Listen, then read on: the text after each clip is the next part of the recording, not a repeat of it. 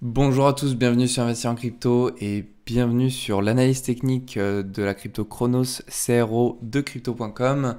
On va prendre le temps de regarder euh, les targets, aller chercher la direction qu'on peut avoir, en tout cas la plus forte probabilité euh, de direction qu'on pourrait prendre sur le CRO, CRO USDT. Donc je vais vous montrer ce que je pense, je vais vous montrer ce qu'il y a, et puis on va pouvoir tirer des conclusions de tout ça. Pour ceux qui ne me connaissent pas, moi c'est Rémi, ici on apprend à investir dans les crypto-monnaies et devenir rentable sur ce marché. Donc, d'un point de vue weekly, on a ici une crypto bullish, absolument bullish, euh, c'est-à-dire qu'on a des points bas de plus en plus haut, des points hauts de plus en plus haut. Et jusqu'à aujourd'hui, euh, bah, on n'a pas cassé de précédent point bas. Euh, quand je parle précédent point bas, j'entends par là, euh, alors attendez, hop, ce genre de point bas. Vous voyez, juste ici. Ou encore ce genre de point bas, ou encore, bon, on n'en a pas, mais vous voyez, ce genre de point bas. Donc, tant qu'on casse pas ça et qu'on est toujours au-dessus, pour moi, la crypto CRO, c'est bullish. On a un net avantage d'un point de vue fondamental. Euh, ça ne fait que s'expandre. On a un exchange sur euh, crypto.com. La publicité, elle est destinée au grand public. Euh, bref, pour moi, ça c'est une crypto qui va être très viable sur le long terme.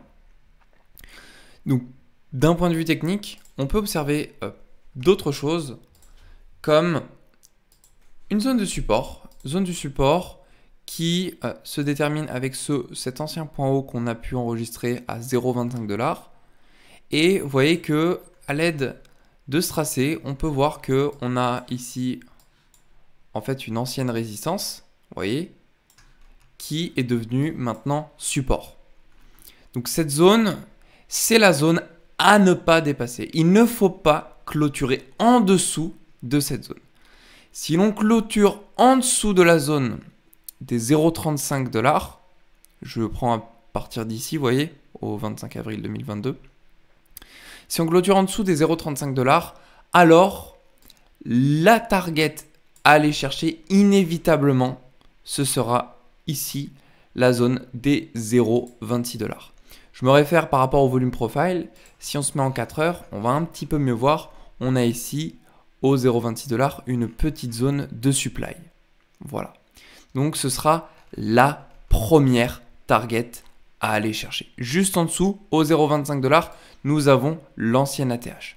Je compte pas la mèche qu'il y a ici. Hein. Donc nous avons ici l'ancienne ATH. Donc c'est pour ça que c'est pour moi la target à aller chercher si on doit clôturer en dessous de cette grande trainline faisant office aujourd'hui de support. Maintenant, il y a une autre chose à voir en daily. Nous avons autant sur le MACD que le RSI, une compression. Donc, c'est-à-dire que dans les jours qui arrivent, il y a bien un moment où il va falloir qu'on casse ou bien le support ou bien la résistance. En fonction de la cassure de l'endroit où on partira, soit la hausse, soit la baisse, on aura un mouvement très grand qui va s'effectuer nous aurons une prise de liquidité, stop loss et liquidation, à aller chercher que ce soit à la hausse ou à la baisse. Pourquoi? Parce que si on part à la hausse, on va voir tous les stop loss et les liquidations ici à aller chercher. Et donc ça va monter, monter, monter, monter. Et si on part à la baisse, on a exactement la même chose qui va s'effectuer du coup vers le bas, dont la target à aller chercher les 0,26 dollars. Si on part à la hausse, la première target à laquelle il faudra se référer, ce sera ici la zone des 0,54 dollars. Je dis bien première target qui correspond finalement à notre zone d'OTE, vous voyez en jaune ici, zone d'OTE, donc zone des retracements 0,618, entre ce point des 0,68 dollars, le plus haut, au point le plus bas, ici au 0,32 dollars. Si on veut avoir une autre target celle encore plus loin après avoir atteint celle des 0,54 dollars, On va utiliser notre retracement de Fibo. On va voir la zone d'OTE du plus haut qu'on connaît à l'ATH actuel, 0,97 au plus bas au 0,32 Et ça, c'est la target à aller chercher les 0,72 Donc sur CRO, si on casse cette structure, ce triangle asymétrique, ou on peut l'appeler un biseau, enfin comme vous le souhaitez, eh ben si on casse à la hausse 0,54 puis 0,72 et si on le casse vers le bas, 0,26 dollars. C'est une figure de continuité, donc il y a plus cette probabilité qu'on parte à la baisse. Plus, mais ça ne veut pas dire qu'on le fera. Donc on surveille. Sur euh, le point de vue un peu plus court terme, on a exactement la même chose. On a la zone d'OTE, mais euh, pour le coup sur le court terme. Alors, je l'ai pris du plus bas ici au 0,32 dollars, au plus haut qu'on a connu ici au 0,54. Et qu'est-ce qu'on peut remarquer? On peut remarquer qu'actuellement, nous sommes rentrés dans cette zone d'OTE, Optimal Trade Entry. Et c'est la raison pour laquelle, si on prend un trade à partir d'aujourd'hui, on a plus de chances, plus de probabilité à ce que le prix aille euh, qui parte à la hausse. Pour deux raisons. Un, nous sommes sur une zone de support juste ici, qui a été touché une fois, deux fois, trois fois, une quatrième fois avec une autre mèche, cinq fois, six fois. Et nous sommes dans la zone d'OTE court terme. Et puis, en daily, qu'est-ce qu'on peut remarquer? On peut remarquer qu'on a un W qui est en train de se former. Je dis bien qui est en train de se former. On ne l'a pas encore validé. Pour le valider, il faudrait qu'on dépasse la zone des 0,42 dollars. Donc quand on validera ce W, à ce moment-là, vous pouvez prendre un, trade. Après, je, dis vous, euh, faut pas suivre ce que je dis. Enfin, quand je dis vous, en fait, techniquement, c'est moi. je prendrai un trade à ce moment-là. Voilà. Euh, maintenant, c'est pas nul non plus de prendre un trade à partir de maintenant, puisque vous prenez un trade non pas sur la structure, mais vous prenez un trade sur le rebond du support. Donc c'est en fonction de votre méthode, en fonction de comment vous tradez. S'il y avait un trade à, prendre à partir d'aujourd'hui, je dis par contre moi c'est pas ça que je ferais. Moi si je prends un trade, euh, je pense que je prendrais ça sur la confirmation, confirmation du W.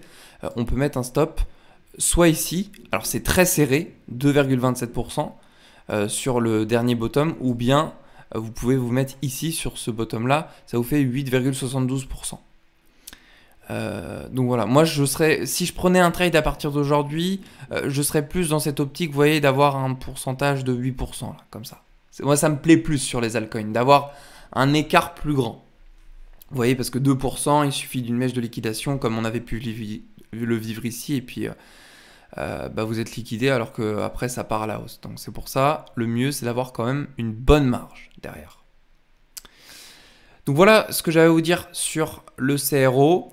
Euh, d'un point de vue court terme, la target à laquelle il faut s'attendre si on repart à la hausse, ce sera nécessairement par rapport à cette résistance, donc les 0,46 dollars. Juste ici, les 0,46 dollars.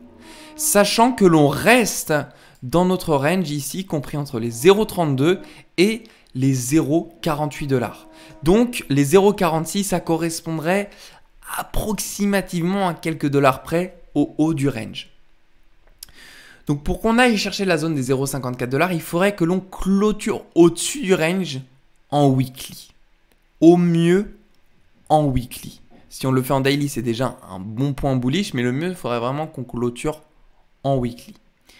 Et puis vous voyez, le haut du range, en plus, on peut le confirmer de par 1, euh, euh, ici le top qu'on a pu vivre, et par rapport aux mèches qui font office de support ici, au 0,48 dollars, et également ici, de par notre volume profile. Donc voilà pour ce qui était la crypto CRO. J'espère que cette vidéo aura pu vous montrer un maximum de choses par rapport aux directions qu'on pourrait prendre euh, sur la crypto CRO. Petit rappel de ce que je pense être le plus probable sur le court terme, ce sera un pump vers les 0,46 dollars. Maintenant, attention à la clôture. Si elle se fait en dessous de cette zone de support, ce sera très bearish et ce sera au grand, minimum au début les 0,33 dollars à aller chercher si on part et on clôture en dessous du support. Et puis si on part en dessous et clôture en dessous des 0,32 dollars, ce sera euh, la target des 0,26 dollars. Petit rappel. Voilà, je vous souhaite à tous une très belle journée, prenez soin de vous et on se retrouve dans une prochaine vidéo.